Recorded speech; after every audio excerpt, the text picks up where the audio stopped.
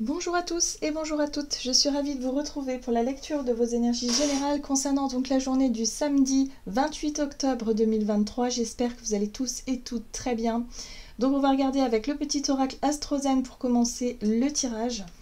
Euh, j'espère en tout cas que les énergies euh, du moment vous sont euh, pas trop déstabilisantes. Hein. On est dans la saison du scorpion.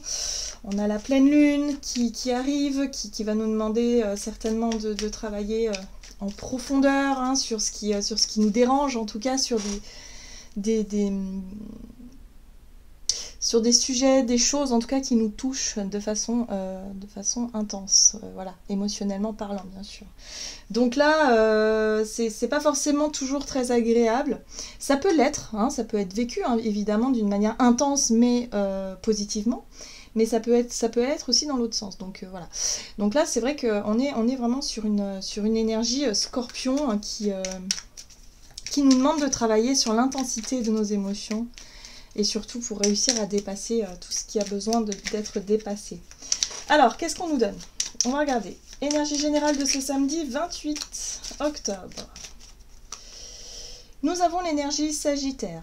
Je perçois, je m'ouvre à l'inconnu pour explorer et élargir mes mondes intérieurs et extérieurs. Apprendre me nourrit et m'enrichit. Alors là, j'ai l'impression ici qu'on nous envoie un petit conseil, justement pour traverser cette période au mieux. On nous invite ici à justement à faire preuve de curiosité sur, ben, sur ce qui nous semble être inconnu, sur ce que l'on ne connaît pas, ce que l'on ne sait pas encore, peut-être dans des domaines différents de ce que justement de ce qu'on a l'habitude de vivre. Là, on nous invite à faire preuve de curiosité tout simplement et euh, à élargir peut-être aussi notre, esprit hein, sur, euh, les différentes choses qui nous semblent être euh, différentes, justement. Voilà, donc je perçois. Il y a peut-être des choses à comprendre, à percevoir autrement, une ouverture d'esprit à avoir. ok. Qu'est-ce qu'on nous dit d'autre? Avec le tarot psychique. Donc pour cette journée, pour les énergies générales de ce samedi 28 octobre. Ah, le pouvoir. La force, ici. Alors, la force qui parle de pouvoir, donc le pouvoir, effectivement, c'est une énergie euh, puissante lorsqu'on est justement dans cette maîtrise, dans l'idée de, prendre conscience de, notre force, de la maîtrise et de savoir maîtriser hein, les, tenants, les aboutissants, savoir maîtriser euh, euh, cette énergie euh, de force qui est la nôtre et de pouvoir en faire quelque chose de bénéfique. Là, avec la force, c'est vraiment une énergie de prise de conscience de nos propres pouvoirs, justement. Euh, d'être en capacité de, de, mettre à profit euh, toute notre sagesse intérieure, toute notre... Euh, je sais pas, hein, si, c'est, si pour certains d'entre nous, on avait un peu de difficulté justement à aller vers l'inconnu, à, s'ouvrir à d'autres choses, à être vraiment dans cette énergie du Sagittaire, à faire preuve de curiosité, sans forcément avoir peur, sans forcément rester dans sa zone de confort, mais chercher justement à s'élargir, à s'ouvrir à différentes choses, à différentes euh, situations, et eh bien là, on nous parle de courage, de volonté, de force, hein, d'avoir justement l'énergie nécessaire pour pouvoir le faire. Ah, alors, ce qui est intéressant ici, c'est qu'on nous parle d'un nouveau départ. Début de la prospérité, c'est l'as de denier qui nous parle d'une opportunité à saisir justement pour pouvoir construire quelque chose, pour pouvoir ancrer quelque chose de nouveau. Donc pour certains d'entre nous, ça peut être aussi avoir envie de tenter de, de, de, de, démarrer quelque chose. Hein. Ça peut être sur le plan, euh, je sais pas, professionnel, matériel. Commencer concrètement, en tout cas, à faire quelque chose de différent. Euh, et de s'engager dans quelque chose de différent euh, pour pouvoir justement bah, développer. Hein. Il y a quelque chose à développer pour plus tard. Hein. L'as de, de denier, on nous parle d'un début, d'un début de prospérité, d'un début de croissance. ensuite, il va falloir œuvrer pour, pour faire croître justement ce projet cette idée, cette volonté. En tout cas, là, on nous parle d'une occasion à saisir hein, de commencer quelque chose de nouveau. Alors, on va regarder un message de l'oracle céleste Astrokif. Donc, pour cette journée du samedi 28 octobre. Ok. Alors, attention. On a l'énergie du bélier inversé, qui nous parle ici d'agressivité, de despotisme et d'égoïsme, Attention quand même à notre façon d'agir. On pourrait être un peu enthousiaste, on pourrait vivre, comme je vous l'ai dit, des émotions intenses. Donc là, s'il y aurait peut-être une occasion, une opportunité qui se présente à nous, attention à la manière dont on va mettre les choses en place, dont on va agir. L'énergie bélier, c'est l'énergie feu, c'est l'action que l'on met en place justement pour pouvoir être dans la concrétisation. C'est vrai qu'on est au début de quelque chose. Donc là, attention à la façon dont on va vouloir peut-être s'engager dans une idée, dans un projet, dans une situation nouvelle. Attention à ne pas se montrer trop égocentré, égoïste euh, et peut-être même un peu agressif ou agressive. Hein. La force, dans son aspect positif, je vous parlais de maîtrise, être capable de maîtriser ses émotions, être capable de maîtriser ses énergies et d'en faire quelque chose de positif. Si on manque de maîtrise et qu'on a la force dans son aspect inversé, là on va être dans euh, la prise de pouvoir et, peut-être vouloir euh, euh, quelque part dominer. Hein. on, peut être dans l'envie de dominer euh, une situation, dominer certaines personnes, dans le pouvoir de la domination. Donc attention à ça. Ici, la notion de pouvoir, c'est pas justement dans la domination, c'est pas forcément dans les excès que les choses vont, se montrer. Hein. Et pourtant, avec l'énergie du bélier qui aura tendance à être un petit peu euh, centré sur lui-même et sans, sans vraiment véritablement faire attention à ce qui se passe autour, ben on pourrait se montrer un peu égoïste et un peu peut-être... Euh, euh, abuser peut-être d'un certain pouvoir. Donc voilà, il va falloir rester dans la mesure et ne pas forcément partir dans, quelque chose de trop impulsif aussi avec l'énergie du bélier. Bon, on a, on Vénus ici inversée, donc elle va pas nous faciliter la tâche. Hein, on nous parle de dépendance, de facilité et de superficialité. Donc voyez comment ça peut résonner hein, dans une situation euh, en ce moment que vous êtes en train de vivre.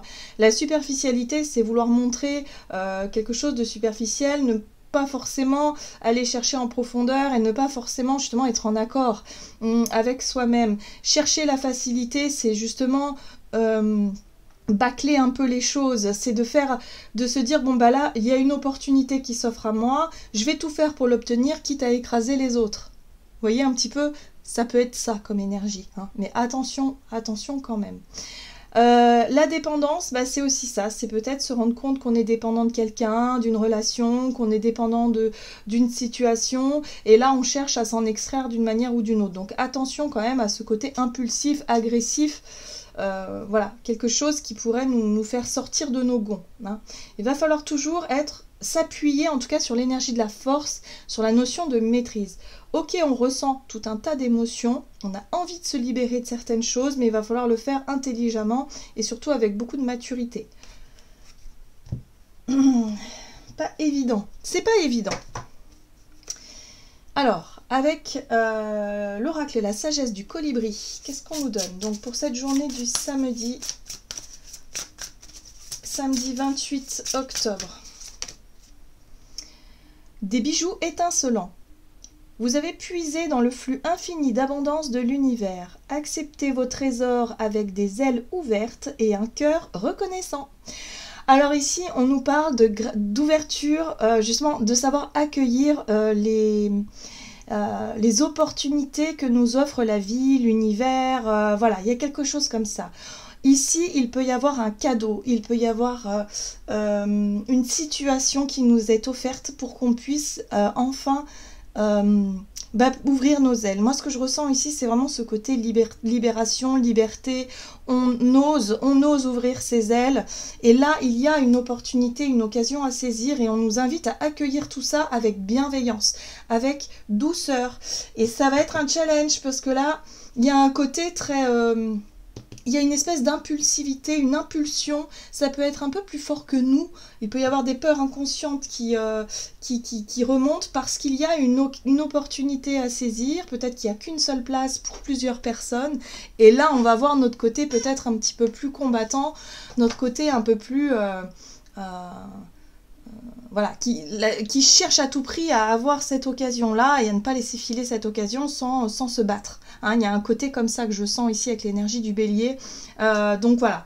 Donc il va falloir euh, rester quand même dans la maîtrise, dans la demi-mesure. Il va pas falloir non plus céder à cette pulsion euh, qui, qui, nous donne envie absolument de réussir, qui nous donne envie absolument d'avoir.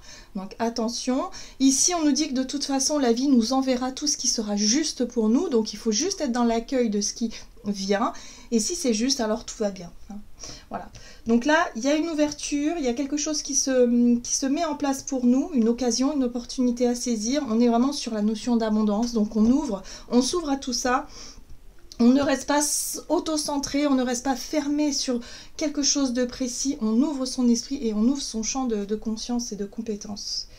Ok, ici nous avons les plumes tombées du ciel. De doux messages d'amour et de soutien adressés par vos proches et vos anges s'annoncent sur votre chemin. Donc là, si on réussit à sortir de, cette, de ces émotions intenses et de, de certaines situations vécues de façon intensément, si on arrive à apaiser un petit peu tout ça, on va pouvoir percevoir les, messages, les signes, les synchronicités, euh, les situations qui nous paraissent quand même assez étonnante, surprenante et toujours remplie d'amour. Hein. Voilà, là on, nous invite à ne pas oublier euh, ce côté-là parce qu'on pourrait tellement passionné par ce qu'on fait, par ce que l'on vit actuellement, qu'on pourrait peut-être en oublier un petit peu les synchronicités, les messages de nos anges, de nos guides de l'univers, euh, l'amour, la beauté, euh, tout ce qui se passe autour de nous, les synchronicités, quoi, c'est important. Ok, bon, très bien, on va regarder ici. avec l'oracle mission de vie du côté de notre énergie d'action et activité. Donc pour ce samedi 28 samedi 28 octobre.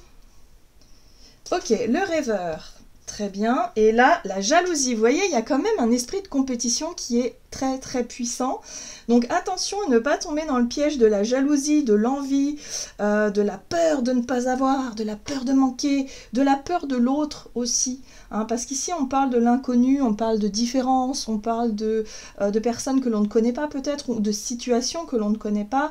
Et ça nous fait remonter tout un tas de de réactions un peu primitives. Hein. Moi, je ressens vraiment ce côté instinct, instinct, mais euh, qui aujourd'hui n'a plus lieu d'être. On n'a plus besoin euh, quelque part de se, de de se montrer, de, d'être vraiment dans cette notion de, jalousie ou de, d'agressivité. Hein, voilà.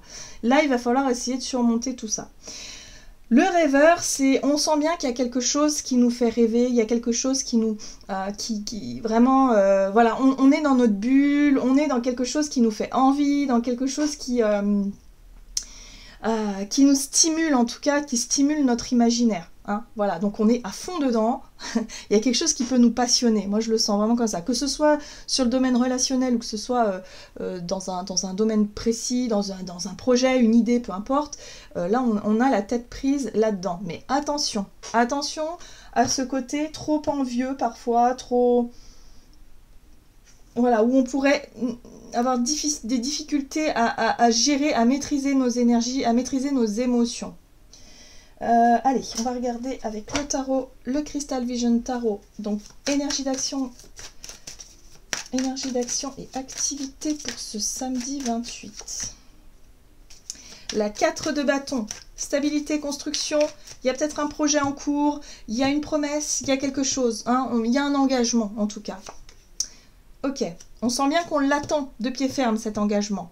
On attend cette concrétisation. Donc pour certains d'entre nous, si c'est sur le plan professionnel, c'est comme si on attendait un contrat particulier, une promotion, euh, un CDI, euh, je ne sais pas, euh, comme si on nous avait peut-être laissé miroiter quelque chose.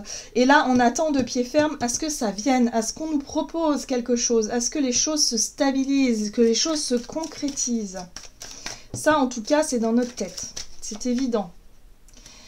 Et là, on a le magicien, ok, et le soleil. Bon, très bien, bah, il y a quelque chose quand même d'extrêmement positif, les énergies sont extrêmement positives.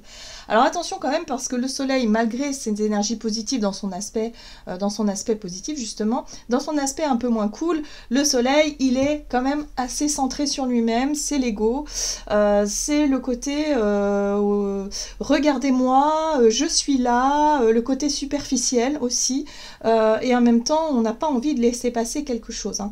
Moi, je sens ce côté un petit peu, je ne veux pas laisser passer une, occasion de, à saisir. Il y a quelque chose à saisir ici et on ne veut pas passer à côté. Hein. Donc il va falloir vraiment faire appel à, sa sagesse quand même, à quelque chose de très euh, mature hein, euh, dans nos comportements et notre façon d'être parce qu'on pourrait être tenté quand même bah, d'être un petit peu trop euh, égoïste. Ouais, égoïste, un petit peu trop... voilà, moi d'abord. Vous voyez, c'est un petit peu ça que je ressens ici. Bon. Parce que ça, c'est intéressant, hein, c'est pas pour rien hein, qu'il y a aussi ce côté, euh, parce qu'il y a une forme d'impatience. Euh, la 4 de coupe nous parle d'une attente qui, dure déjà depuis longtemps, c'est quelque chose qu'on attend euh, depuis tellement longtemps que là, ben, ça y est, on voit que l'occasion arrive, et cette occasion, on se dit non, non, non, mais c'est hors de question, il faut que ce soit pour moi, en fait. voyez? Donc il va falloir faire attention à tout ça. On a, la 4 de bâton qui nous parle de, bah ouais, de, de, stabilité, de construction, de quelque chose qui est possible. Et puis le magicien, bah le magicien, lui, dans son aspect positif, c'est vraiment la capacité à oser, la capacité à se mettre en avant, peut-être à avoir les arguments nécessaires, à montrer que l'on est capable, que l'on est la personne qu'il faut pour euh, cette occasion, cette opportunité-là. Et euh, voilà, donc il va falloir faire attention à se montrer de manière intelligente et intelligente, parce que là, si on est trop dans le paraître, si on est trop dans le moi d'abord, eh ben ça risque de tomber à l'eau. Et oui, voyez le pendu? Attention J'ai l'impression que pour certains d'entre nous, on pourra en faire trop. Et ce serait dommage. Voilà. Donc attention, parce que la carte du pendu, c'est une situation bloquée, c'est une situation qui n'avance pas, mais qui nous permet aussi peut-être de revenir, de revoir un petit peu nos erreurs, de revoir un peu nos comportements, nos schémas, hein, pour qu'on puisse s'en libérer, pour qu'on puisse s'en libérer. Donc oui, il y a peut-être effectivement des choses qu'on va, qu'on va commettre ou des réactions qu'on va pouvoir avoir, mais on va pouvoir se corriger quand même assez rapidement. Hein. Ok. Bon, bah voilà, on est prévenu. On est prévenu. On a juste à accueillir ce qui vient sans vouloir forcer les choses. Hein. C'est un petit peu, j'ai l'impression, le, euh, le conseil là qu'on essaie de nous transmettre. Parce que sinon on va vouloir peut-être un petit peu trop en faire et ça, ça, va gâcher un petit peu le, la situation finalement. Allez, on va regarder sur le plan relationnel et sentimental avec l'oracle chakra du cœur. Donc pour cette journée du samedi 28 octobre. On nous parle encore une fois de différences. Alors ici, c'est différence d'âge, mais ça peut être certainement des différences qui sont assez marquées entre nous et une autre personne. Donc voyez comment ça peut nous, euh, ça peut euh, nous toucher, vous toucher d'une manière ou d'une autre. Mais là, on voit bien qu'il y a une différence, ou en tout cas, on est peut-être axé sur cette notion de différence. Euh, et là, on a n'écoute pas les autres. Bah oui, moi, j'ai l'impression ici qu'il y a une espèce de, de, comme si on allait chercher à se comparer aux autres. C'est ça aussi la jalousie. Euh, c'est lorsqu'on a tendance à trop se comparer aux autres. En général, euh, on a tendance à se, euh, se dénigrer, hein. on a tendance à être un petit peu à se sous-estimer hein, vis-à-vis de quelqu'un d'autre, qu'on trouve plus compétent, plus compétente, plus jolie, plus ceci, plus cela. Et du coup, bah, là, on a, on a une espèce de blessure qui est activée et on peut se montrer peut-être dans l'ego, dans la jalousie, dans l'envie, dans quelque chose qui n'est pas forcément, qui n'est pas du tout constructif. Et c'est pour ça ici qu'on nous dit on n'écoute pas les, autres qui peut-être sont dans la critique, dans le jugement ou à pointer du doigt cette notion de différence. Hein, voilà. Euh, et du coup, euh, qui pourrait aussi accentuer cette espèce de mal-être qu'on pourrait avoir parfois, hein, lorsqu'on a tendance à se comparer à certaines personnes. Ah, là, là, ça pique. Et là, on retrouve les énergies du scorpion. Alors, justice. Bon, alors, la justice. Ok La reine de coupe, l'hypersensibilité, les émotions sont à fleur de peau. Et on retrouve ce soleil. Le soleil qui qui a besoin de se sentir briller, le soleil qui a besoin parfois aussi de se sentir encouragé. Alors, Dans l'aspect positif des choses, là je dirais que effectivement il y a un équilibre qui peut être retrouvé. L'énergie de la justice ici nous montre bien qu'il peut y avoir une prise de position, une prise de décision plus juste ici qui peut nous permettre de mieux gérer nos émotions, euh, de faire preuve aussi d'ouverture de cœur, hein, la compassion, hein, c'est vraiment la reine de coupe, la compassion ici, et en même temps de faire preuve de générosité avec l'énergie du soleil, de bienveillance, d'avoir vraiment ce côté chaleureux. Euh, donc voilà, donc il y a possibilité ici d'accueillir les différences de l'autre avec, euh, je dirais, avec compassion, avec cœur et avec, euh, je dirais, euh, ouais, intelligence finalement. Dans notre aspect un peu moins positif, il est possible qu'on soit confronté effectivement à une personne ici qui soit vraiment on, a vraiment tendance à se comparer à cette, à cette personne-là et à être à se montrer peut-être injuste envers cette personne et du coup à manquer peut-être un peu de compassion. Hein. La reine de coupe dans son aspect inversé, c'est l'hypersensibilité, c'est le côté euh, je n'arrive pas à maîtriser mes émotions et je peux avoir des comportements totalement contradictoires parce que mes émotions ont pris le dessus. Et le soleil, c'est la possibilité d'être égoïste, agressif, et ainsi de suite. Donc, euh, voilà, si ces énergies-là sont bénéfiques, alors tout devrait bien se passer. Voilà, vous voyez? Là, avec le pendu, il est possible qu'on ait réellement un changement de regard sur nos propres comportements, sur notre propre façon de se comparer aux autres, et surtout sur l'idée de, pointer les différences, alors qu'en fait... Euh, c'est ça qui fait la richesse aussi euh, de qui on est. On est tous différents et c'est tant mieux. Hein. Voilà, et, c'est pas parce qu'une personne en face de vous a des super belles qualités que vous, vous n'en avez pas. On a tous des, belles choses à offrir. Donc là, il y a vraiment un besoin de sortir de ce, truc de, se comparer à l'autre pour justement réussir à, à, changer la donne et à ne plus agir ou réagir d'une manière euh, bah, soit agressive, soit jaloux ou, ou possessif. Vous voyez les énergies du scorpion qui sont basses. Voilà, là, on a besoin de justement de travailler ces énergies du scorpion pour les peaufiner pour les magnifier et en faire quelque chose de positif. Ok. Et là, on a le chariot. Très bien. Donc, un petit changement, euh, une petite prise de conscience ici à avoir avec l'énergie du pendu qui, peut être un petit peu désagréable sur le moment, mais qui peut très vite être dépassé pour qu'on puisse enfin foncer vers notre objectif qui est le nôtre. Voilà, donc on retrouve finalement ce côté confiant, confiance, ce côté euh, assurance même, j'ai envie de dire. Hein, même si on a pu être un petit peu déstabilisé quelques instants, mais on a pu surfer sur la vague et réussir à se défaire justement de, euh, notre côté manque de confiance et, et l'ego qui pique un petit peu. Qu'est-ce qu'on nous dit d'autre? Allez, avec le tarot des anges gardiens, pour les énergies générales de ce samedi 28 octobre. La 8 de l'émotion. Vous attendez avec impatience que quelque chose d'important se produise dans votre vie. Au fond de vous, vous savez que le monde a plus à vous offrir. C'est probablement le moment propice pour changer de métier, vous installer dans une autre maison ou une autre ville, etc.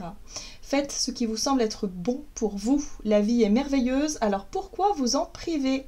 Alors encore une fois, moi ce que je ressens au travers de ce message-là, c'est la notion d'attente. On attend depuis peut-être un certain temps qu'une occasion se présente à nous. Alors ça peut être soit dans le domaine, je vous disais, professionnel, on attend un contrat, on attend quelque chose, et là on se dit ça y est, c'est pour moi, c'est pour moi, c'est pour moi, et du coup on pourrait avoir ce côté euh, un peu euh, combattant, euh, un peu guerrier qui remonte là.